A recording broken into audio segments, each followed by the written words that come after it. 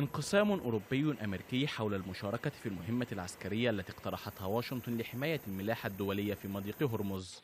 وزير الخارجية الألماني هيكو ماس قال إن بلاده لن تشارك في هذه المبادرة مشيرا إلى أنه لا يمكن أن يكون هناك حل عسكري للأزمة مع إيران.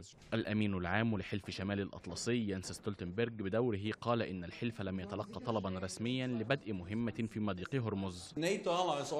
حلفاء الناتو قلقون بشأن الوضع في الخليج وحرية الملاحة تشكل بطبيعة الحال أهمية كبيرة لجميع حلفاء الناتو. العديد من الحلفاء لديهم أصول في الخليج لكننا لم نتلقى طلبا للمشاركة في مهمة الخليج.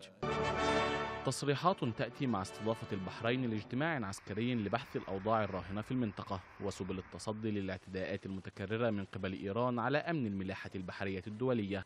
التوتر السائد بين واشنطن وطهران لا يقتصر على الأنشطة الإيرانية المهددة للملاحة الدولية في هرمز. إذ بات الاتفاق النووي مهددا مع إعلان إيران تقليص التزاماتها في الاتفاق على مراحل وقد تنسحب منه في النهاية. في ظل الظروف الحالية وحتى تتخذ أوروبا التدابير اللازمة فإن إيران ستخطو بالتأكيد خطوة ثالثة وستستمر بخفض التزاماتها في الاتفاق النووي. التحركات الإيرانية سواء فيما يتعلق بالملف النووي أو التهديدات البحرية تزيد من حدة التوتر في المنطقة في ظل انقسام واضح بين أوروبا وواشنطن حول كيفية التعاطي مع الملفين.